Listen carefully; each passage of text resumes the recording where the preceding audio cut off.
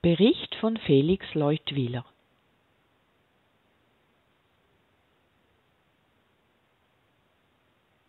Neunzehnhundertsiebenundneunzig erteilte Felix den ersten Unterricht an fremdsprachige, gehörlose und hörbehinderte Migranten.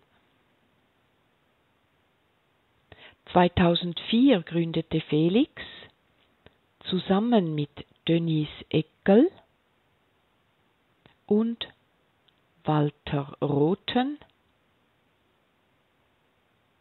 den DIMA Sprachverein. Diese drei gründeten DIMA.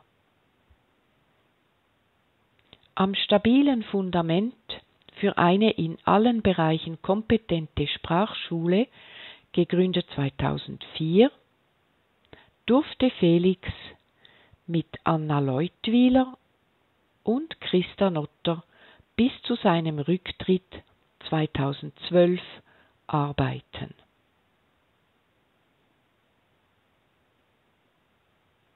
Christa Notter hat als seine Nachfolgerin im März 2012 die Gesamtleitung von DIMA übernommen und leitet auch weiterhin die Sprachschule. Als kompetente Mitarbeitende konnten wir Andreas Janner, kaufmännische Leitung, und Sarah Guidi, Schreibberatung, gewinnen.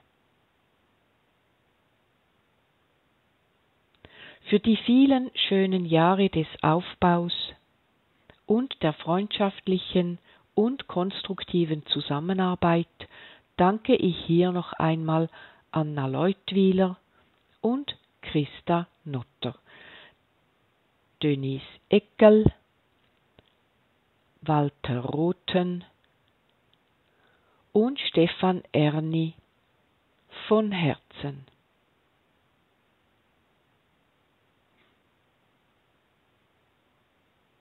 An der Abschlussfeier vom 30. März 2012 war ganz Dima Gast von Brigitte Largo beim Apero Riche in unserer Cafeteria. Und da hat sich Felix in den Ruhestand verabschiedet und ist mit einem großen Korb voller Blumen und Geschenke nach Hause gefahren. Herzlichen Dank auch dafür. Immer am Ende eines Jahres wird Bilanz gezogen und der Jahresbericht wird geschrieben.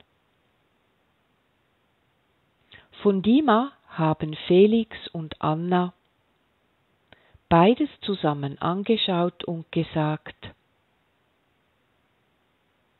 es ist ein gutes Gefühl zu sehen und zu spüren, wie sich unser Verein weiterentwickelt hat und mit welcher Ausdauer neue Ziele verfolgt und erreicht werden. Chapeau, Hut ab. Wir zollen euch höchsten Respekt für die wunderbaren Leistungen, und freuen uns über eure Erfolge. Aber dass ihr es euch nicht einfallen lässt, auf diesen schönen Lorbeeren auszuruhen.